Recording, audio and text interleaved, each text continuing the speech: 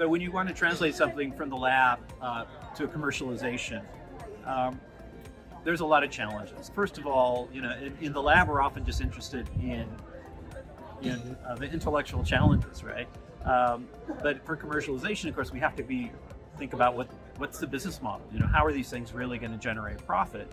Uh, and, and when we're looking at the medical side of things, if we're going to use these for medical applications, we have to get doctors on board. We have to get the, uh, the, the, the, physicians who are going to use these to believe in the technology. And then we have to convince the investors uh, to, you know, that it's worth putting the, the millions and millions of dollars, uh, euros it's going to take to, to translate that. So you really have to bring a lot of things together.